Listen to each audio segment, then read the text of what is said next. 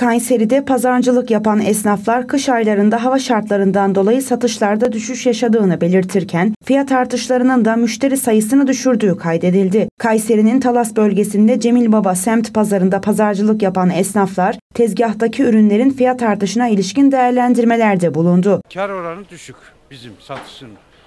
Atıyorum 18 liradan şu domatesi aldım.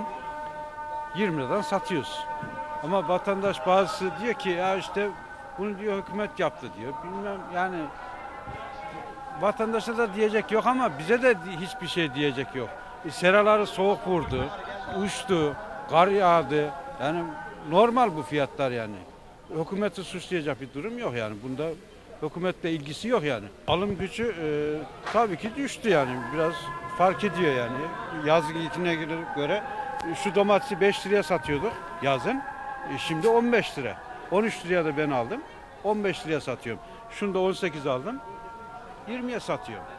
Alım gücü tabii düşüyor vatandaş bazısı e, işte soğuktan korunmak için e, diyelim ki 10 kas alacağımızda 5 kas alıyoruz, 3 kas alıyoruz. Günlük tükettiğimizi tüketiyoruz. Ondan sonra mal alıyor. Yoksa alamak yani.